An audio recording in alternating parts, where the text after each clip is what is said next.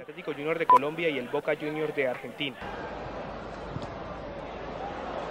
La afición local siempre acompañó el cuadro tiburón, pues los argentinos se mostraron agresivos y belicosos desde el comienzo.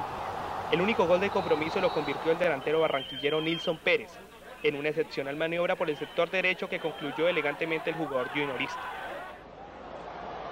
La segunda fracción mostró un inusual cansancio de jugadores de ambas divisas, quienes en más de una oportunidad quedaron tendidos en el gramado por causa de calambres y fatiga.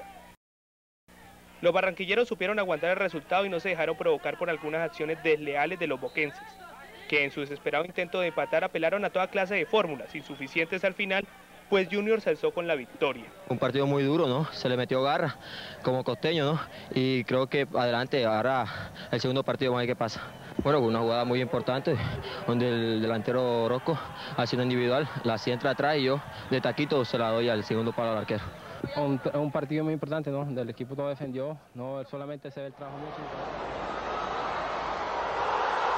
Individual, la entra atrás y yo de taquito se la doy al segundo palo al arquero. Un, un, partido muy importante, ¿no? Del equipo todo defendió, no solamente el trabajo mío, sino todos los compañeros.